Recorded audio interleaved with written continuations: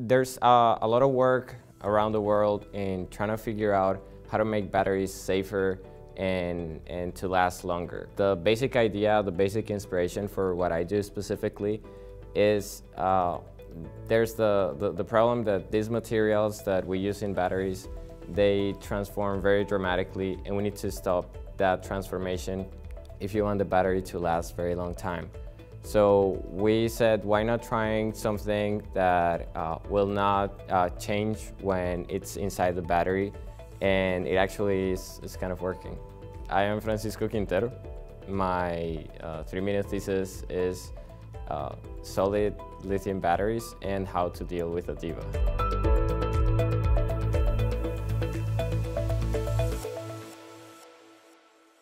When was the last time that you charged your phone? Last night? Maybe this morning? Perhaps you need to charge it right now. Have you ever wondered why you need to charge it so often? Or what can we do to make the charge last longer? I'm going to try to answer those questions. And don't worry, the answer is not to stop watching YouTube videos or playing Pokemon Go. The answer comes from within, the battery. First, let's have a look at how a battery works. A battery is made of three components, a negative side, a positive side, and a liquid in the middle. When you use your phone, tiny lithium balls move from one side to the other through the liquid in the middle. So why do you have to charge your phone so often?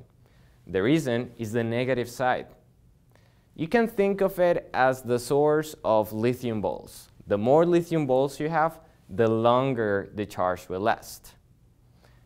The negative side in the battery of your phone is made of the same material as the tip of a pencil.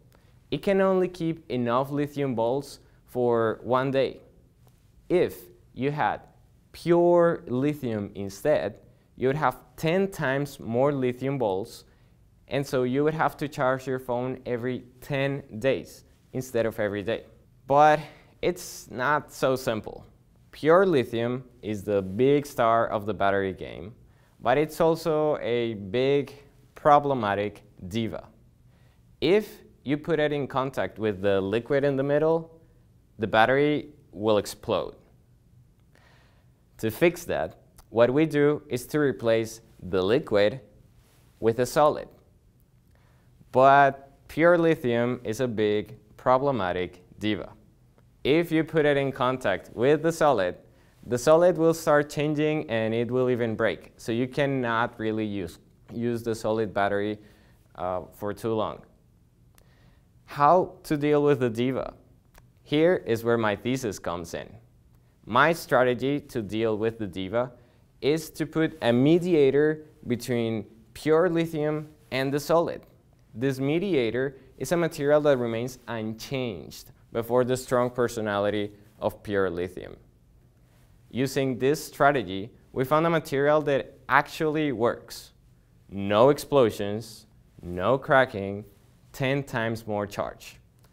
Soon, when someone asks you, when was the last time that you ch charged your phone? The answer will not be so obvious. Thank you.